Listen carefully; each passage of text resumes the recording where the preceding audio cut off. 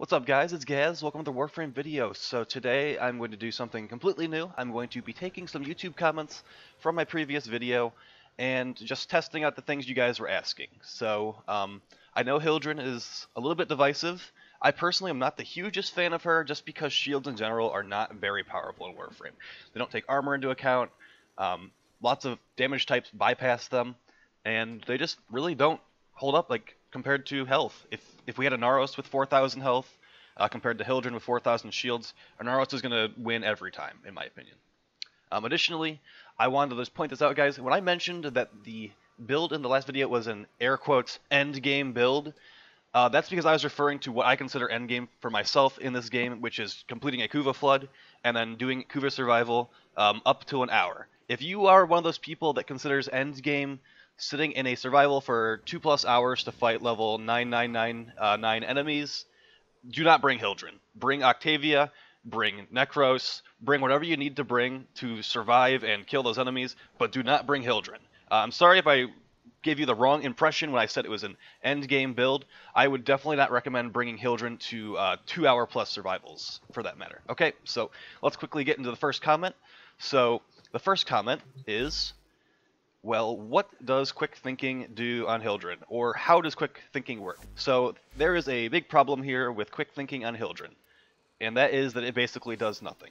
So um, we have a Toxic Ancient spawned in here. We're going to show you, because um, Toxic, Toxic Ancients are going to do a Toxin proc immediately uh, with their special ab ability. So we have quick thinking applied. Uh, you would hope that it would actually just start draining your shields instead of your health, um, prevent lethal damage, but that's not actually the case.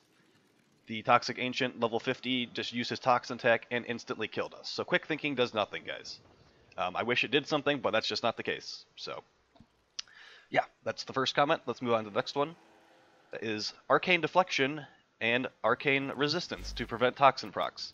Now that is a good point. It's definitely not the most ideal thing in the world, because those are only 80% chances, but um, let's give that a quick shot against this Ancient. I'm sure the slash one will work just fine. Um, we're just going to test the toxin one out right now. Uh, what was in that last slot? Okay, so the one for toxin, I believe, is called arcane resistance. Yes, so that's an 80% chance. Um, I believe one of them is a 20% chance. So if we equip two of those, it should be 100% toxin resistance. Yep. Oh, that was over. That was Umbral Intensify. Okay. Don't worry, we got plenty of comments we're gonna be going over in this video. Alright, so do your thing. And 100% toxin resistance. Still died. This is actually news to me. I didn't think it was going to kill us like that, but... Um, yeah, it must just be something that can't be avoided by arcanes. Try it one more time just to make sure. Yep, got one shot. Through our shield, mind you. So yeah, I don't think I can really recommend that. Um, although it is a very good idea. I, uh, I do wonder if the Wyrm Sentinel would actually save us there. Let's quickly try that out. Because the Wyrm Sentinel has the negate ability, which um, prevents the status effect once every 5 seconds. Let's quickly try that. Over here. Come on. You can do it.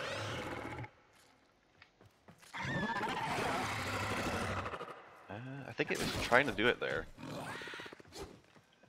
Come on. Okay, so Wyrm Sentinel seems like it's working. Maybe that's because we're blocking. We'll try it one more time before we move on.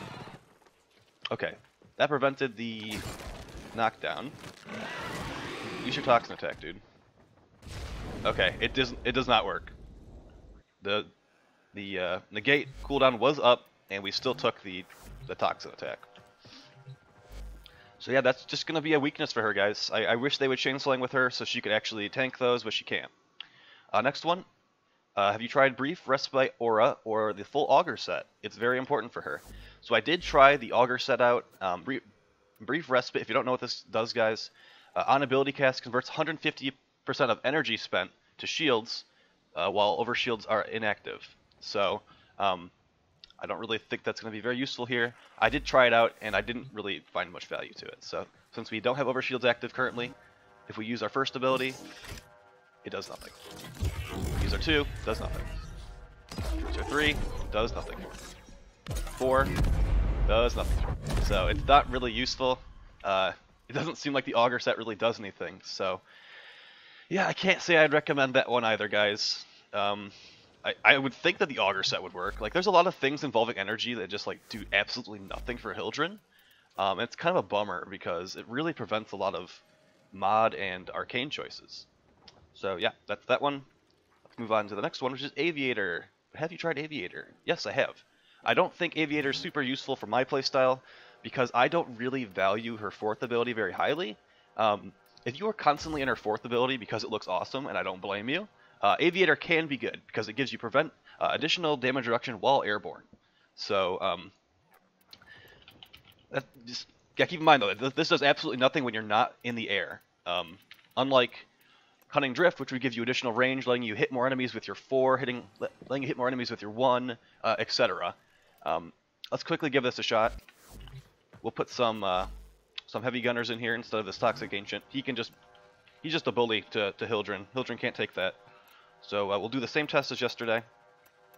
I know, guys, level 50, not very high level, but um, she can tank level 160s for a bit. It's definitely not impressive, but it, it is possible. Alright, so Aviator. Okay, let's move back a little bit so these guys can actually shoot us.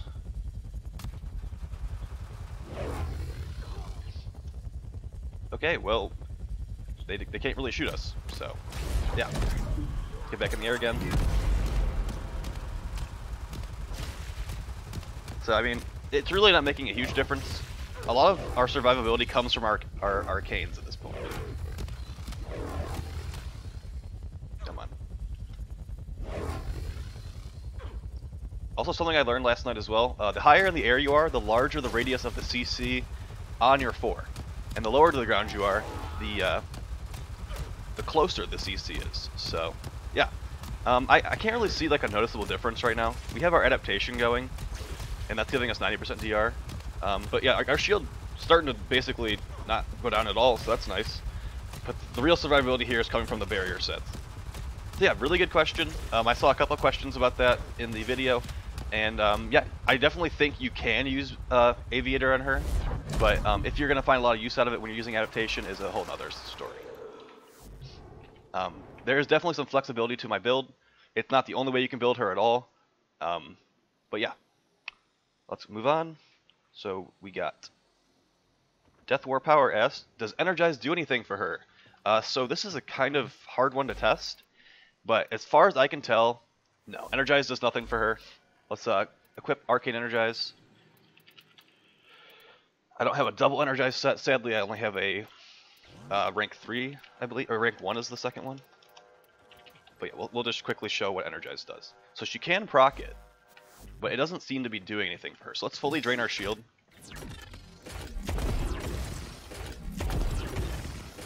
So you would you would think if Energize is working, we would get huge chunks of our shield while procking Energize, which you can hear from the sound effects.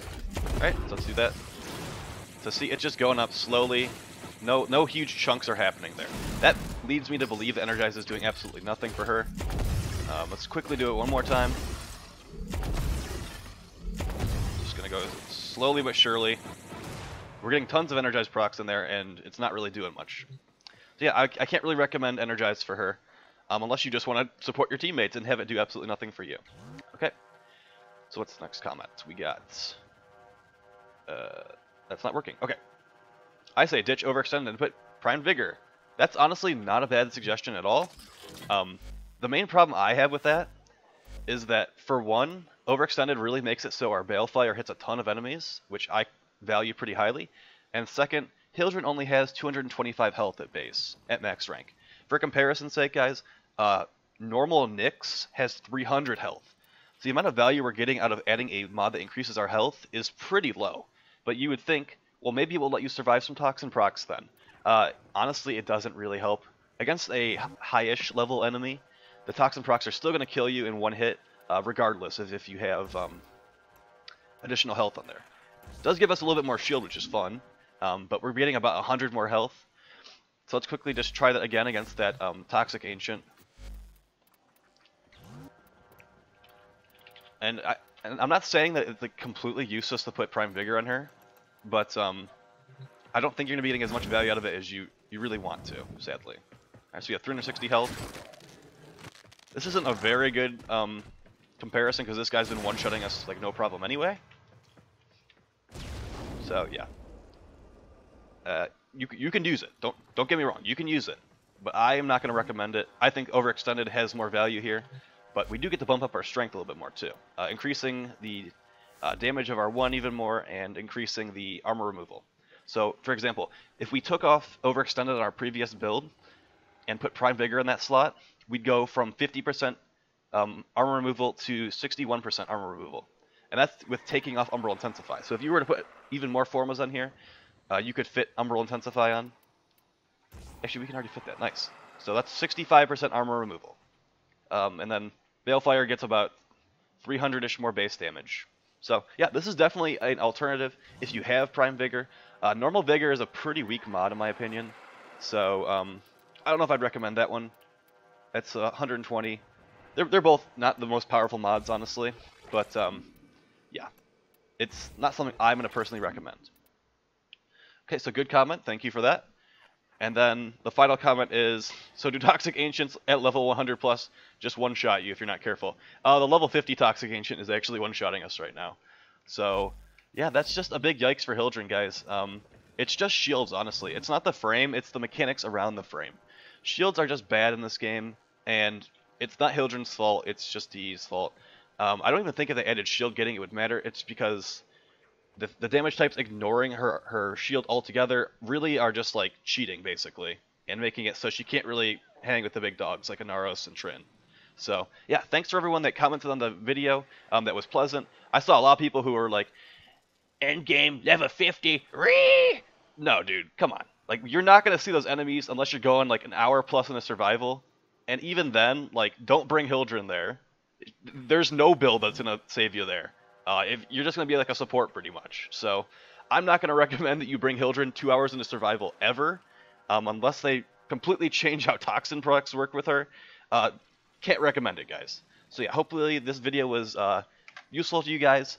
I'm just I wanted to show you that I don't ignore these comments. I I do take these things into account, and I have tested many of these things before the video even comes out. Okay, so um, yeah, going forward, I'll be uh, doing some more videos on some weapons and maybe some arcanes. Uh, there's some arcane combinations I still have not put out videos on that I've been enjoying, so keep an eye out for those. Uh, please like, share, subscribe, and have a great day, guys. Peace.